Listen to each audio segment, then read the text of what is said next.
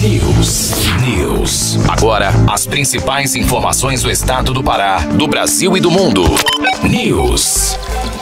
Nova York e seus arredores amanheceram nesta terça-feira cobertos de neve pela primeira vez em dois anos.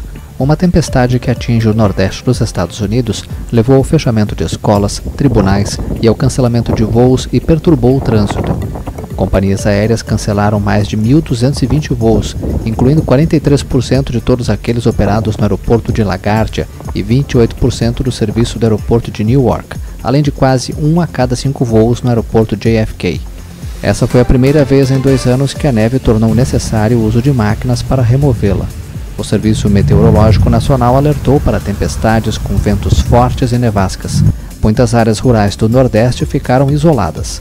O município de Hampton, em Nova Jersey, acumulou 33 centímetros de neve, enquanto Chester, ao norte do estado de Nova York, registrou 30 centímetros.